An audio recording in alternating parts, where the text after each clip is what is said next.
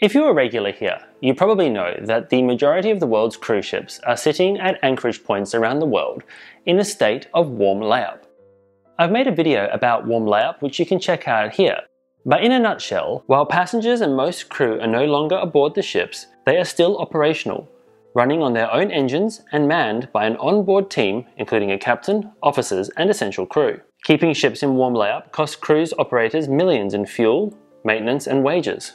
Which begs the question, why don't cruise ship operators repurpose their cruise ships for other uses so they can make some money during the coronavirus pandemic? Cruise ships are often referred to as floating hotels, and in many cases they do share some similarities with land-based hotels and resorts.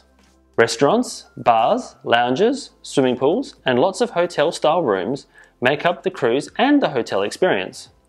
But six months into the cruising shutdown, most international borders remain closed, but we are seeing more and more local tourism areas reopening, with many people flocking back to hotels and resorts to get a break during this difficult year. So why haven't we seen cruise ships opening their doors as floating hotels? I mean, who wouldn't want to spend an afternoon on board Queen Mary 2 and take in high tea, check out the new facilities on board P&O's yet to be launched Iona, or ride the roller coaster aboard Carnival's new Mardi Gras? There are a number of roadblocks preventing cruise ships from being used as hotel ships, some of which are exacerbated by the pandemic. Firstly, many jurisdictions remain closed to cruise ships, and gaining access to closed cruise ports is difficult at this time. Notable examples of this include all the ports in Australia and New Zealand, which remain closed to foreign flagged cruise ships. Not only does this mean that you can't take a cruise in these countries, but also that cruise ships aren't even allowed into the ports, so utilizing them as hotel ships is out of the question here. But even in countries where cruise ships are still welcome, there are a number of hurdles to overcome before you can use a cruise ship as a hotel ship. Firstly, there is the issue of docking space, as well as the cost of docking the ship itself. Around the world, cruise ships are still reliant on ports for provisions, meaning cruise ships are still requiring access to ports. Space at port is always at a premium, Filling berthing locations with hotel ships would further impact the ability of ships in warm layup to access ports for provisions and personnel changes. Additionally, it is far cheaper to anchor a cruise ship off the coast than it is to keep it alongside, meaning docking fees for a permanently moored cruise ship is expensive. Speaking of costs, the cost to operate a hotel ship is extremely high and would definitely need to be taken into consideration before any viable hotel ship operation could be opened. It takes hundreds, and in some cases thousands of people to run a cruise ship. The cost of operating a cruise ship is possible in normal times, as cruise ships never sail empty. Demand over the last 20 years has been high, and most cabins aboard most ships were occupied. So there was enough income to not only cover the expense of such a large operation, but also allow the cruise line to turn a profit. Demand also plays a role. The pandemic has impacted global travel, with many economies around the world in the worst recession since the Great Depression. Recessions bring with them a softening of travel demand, which is made much worse by the health concerns and the travel restrictions the pandemic brings. Sure, a laid up cruise ship is unprofitable, and cruise lines are losing millions upon millions of dollars having their fleet laid up around the world. But an operational cruise ship that didn't have enough guests is also unprofitable. In fact, it would be even more unprofitable if it was fully manned as a static hotel with only a handful of guests on board. So, hotel ships would need to either operate close to capacity or significantly scale back the service and offering on board. Additionally, the various hotels and resort operators, many of whom are already struggling, would likely oppose any cruise ships opening as hotels in their geographical locations. All of this stacks up to a difficult business case to open a cruise ship as a hotel ship at this time. But there are a few exceptions. In fact, we can look to Hurtigruten as one of the most notable exceptions during this pandemic. Norwegian brand Hurtigruten has recently leased out two of its ships for use as accommodation ships, with both ships to be used as a base for the cast and crew of the new blockbuster installment from Mission Impossible while they film in Norway. The specific use of these ships plus the agreed lease price, which would cover the costs for the cruise operator. And the closed community that would exist on board the ship, just with Mission Impossible production crew and cast, it would allow the cruise line to offer a safe and viable environment for those people living and working on board. In days gone by, passenger ships had been repurposed as hospital ships.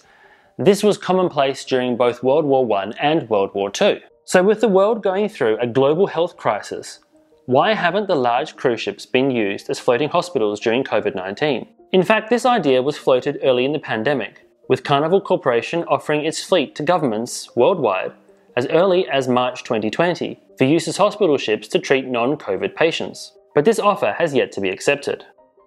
The cost of refitting a ship, as well as the time it takes to do so, are likely two obstacles to this idea.